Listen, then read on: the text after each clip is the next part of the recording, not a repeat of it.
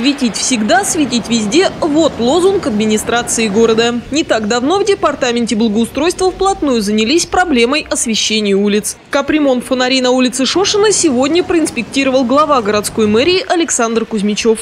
Ремонт линии наружного освещения здесь напрашивался уже давно. Движение по Шошину очень интенсивное. Эта дорога также используется в качестве пути объезда центра города водителями большегрузов. Существующая здесь э, линия электропередачи наружного освещения, э, будем так говорить, устарела уже и физически, и морально. То есть были старые деревянные опоры, светильники, которые пришли в негодность, и провода были простые алюминиевые.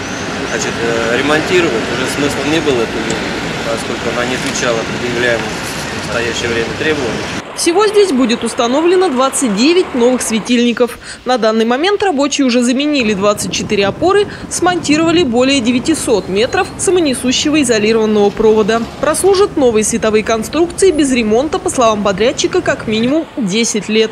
Но гарантийные обязательства лишь на 3 года. Мы несем э, ну, гарантии, что в течение трех лет упадут, не отвалится.